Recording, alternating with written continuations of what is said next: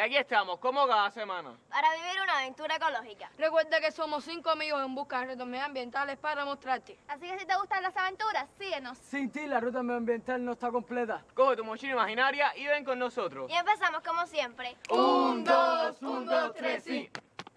Dilo. Si te interesa la importancia de las aguas, aprende a ahorrarla, ya no contaminarla. Acompáñanos y verás cómo disfrutar. Nosotros somos cinco y esta es nuestra ruta. ¡Eh!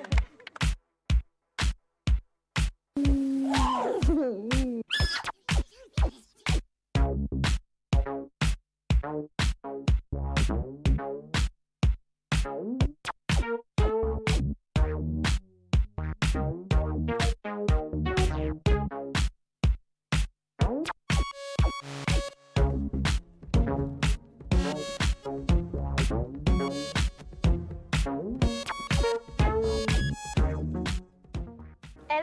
es un recurso natural que aunque es renovable, escasea cada vez más en el planeta. Esto es debido a su utilización desmedida. Se prevé que para el año 2025 la mitad de la población del planeta sufrirá la escasez de este vital líquido. Es decir, más de 3 mil millones de personas carecerán de este preciado recurso. Indispensable para la vida de todos los seres vivos.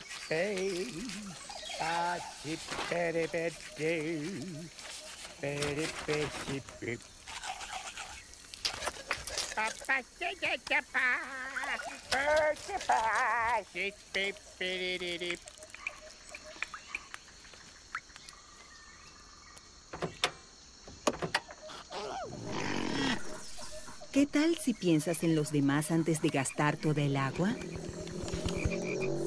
Ayúdalos a salvar su planeta. Usa solo el agua que necesitas. Pongan atención, porque tenemos algo que decirles sobre la palabra agua. La palabra agua proviene del latín aqua y es una sustancia cuya molécula está formada por dos átomos de hidrógeno y uno de oxígeno. El agua, conocida como H2O, es esencial para la supervivencia de todas las formas de vida. A pesar de que nuestro planeta se llama Tierra, se le conoce como el planeta azul, y esto es gracias al agua, que ocupa el 71% de la superficie de esta, la casa de todos.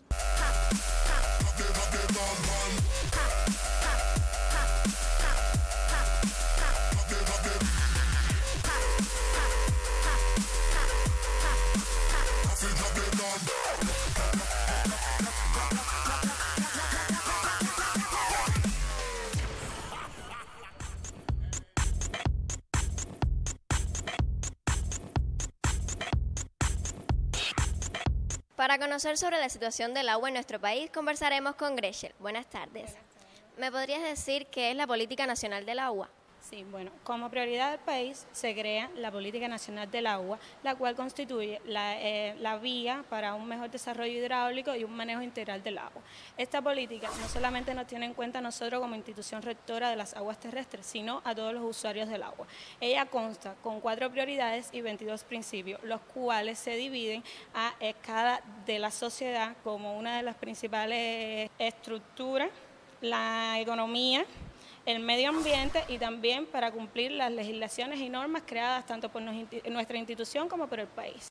David, ¿me podrías decir cuáles son las prioridades de la Política Nacional del Agua? Bueno, la Política Nacional del Agua tiene cuatro prioridades. La primera es el uso racional y productivo del agua, es decir, el agua que se administra debe ser de forma planificada y al mismo tiempo esta agua eh, tiene un carácter productivo. ¿Por qué? Porque un volumen de agua se va a transformar en un volumen de producción. Como ponerte un ejemplo, el agua que es empleada en la agricultura para obtener eh, la comida para la población. Ahora, ¿cómo es posible llevar a cabo esta primera prioridad a partir de la infraestructura hidráulica que ya está construida?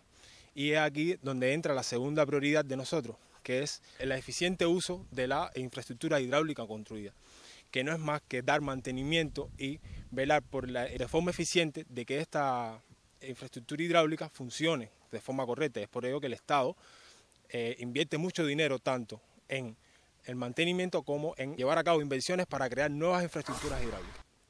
Ahora, hay que tener en cuenta que eh, estamos hablando de agua y es aquí la tercera prioridad, que es la gestión de la calidad del agua, que es el agua que nosotros vamos a administrar debe tener una calidad para el determinado uso.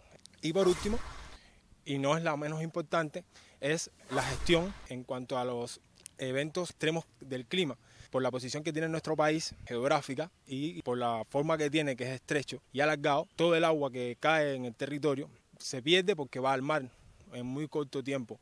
Hay que tener en cuenta que eh, tenemos dos periodos en nuestro país, un periodo lluvioso y un periodo seco.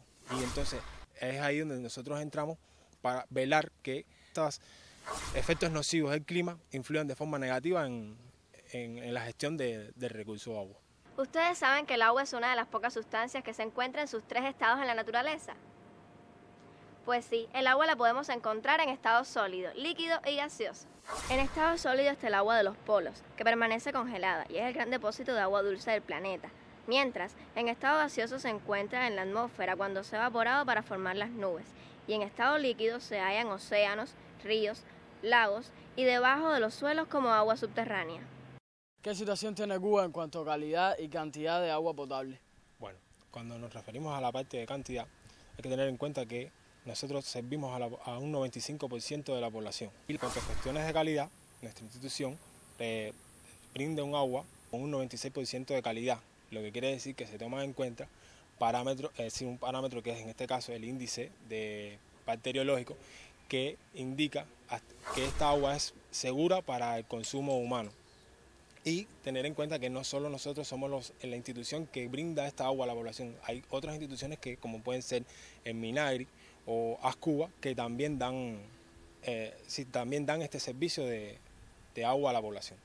En busca de promover en niños y jóvenes una cultura del ahorro del agua, surge el concurso Infanto Juvenil de Fotografía Cero de Rocha. Otra de las iniciativas ante las prolongadas etapas de sequía que vive nuestro país. Este certamen está auspiciado por el Fondo de las Naciones Unidas para la Infancia y el Instituto Nacional de Recursos Hidráulicos, entre otras entidades. Y también por el grupo Agua Amiga de los Niños y las Niñas.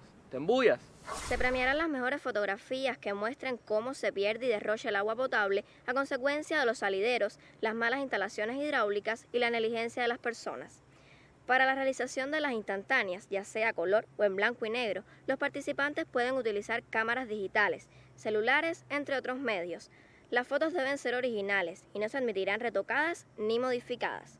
Se podrán presentar hasta tres instantáneas por autor, sean parte de una serie o no, en formato digital o impresas en papel fotográfico. Para más información, escribir al correo o teléfonos que aparecerán en pantallas, que son amneris.hidro.cu y los teléfonos 7836-5571 al 7836-5579, extensión 212 o 214. La cantidad de personas que viven en el mundo sin acceso directo al agua potable va creciendo cada día más. Alrededor de más de mil millones de personas ya carecen de este preciado líquido. En algunos países las transnacionales se están adueñando de las reservas de agua y excluyendo cada vez más a los pobres de su derecho al agua potable. Cada gota corremos de este preciado líquido es muy importante. Contaminar el agua es atentar contra la vida y contra el futuro de la Tierra y la humanidad. No olvides que esto es Ruta 5.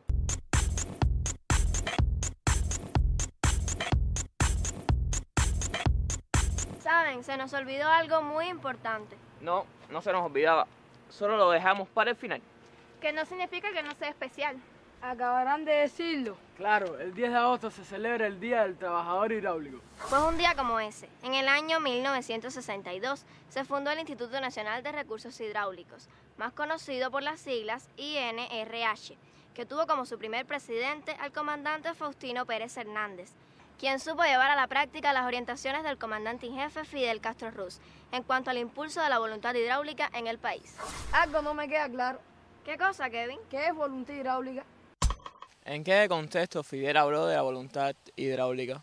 Bueno, primeramente él se, expresa por primera vez cuando tenemos la afectación del eh, ciclón Flora en octubre de 1963, el cual tuvo un impacto muy negativo, sobre todo en la región oriental, donde eh, se vio muy afectada la población y toda la parte económica. Por lo tanto, había que mejorar la infraestructura y crear nuevas infraestructuras para, en estos tipos de eventos, poder regular hasta cierto punto los niveles de inundación y estar preparados en los momentos de sequía, tener grandes volúmenes de agua retenidos para poder suministrar a la población y, no carecer del recurso.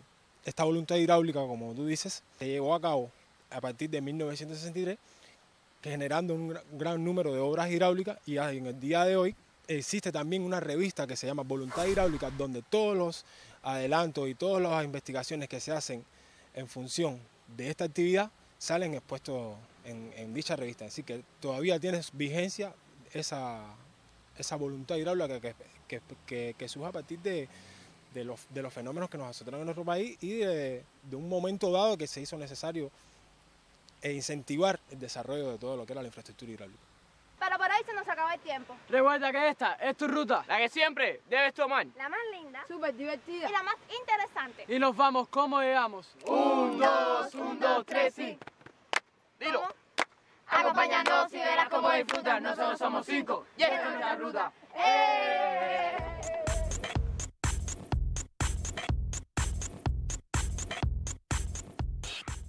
Acompáñanos y verás cómo disfrutar. Nosotros somos cinco y esta es nuestra ruta. ¡Eh! Dilo. Si te interesa la importancia de las aguas, no. Es un recurso natural que, aunque es renovable, escasea cada vez más en el planeta. Otra de las iniciativas ante las prolongadas etapas de sequía que vive nuestro país. Este. oh, no.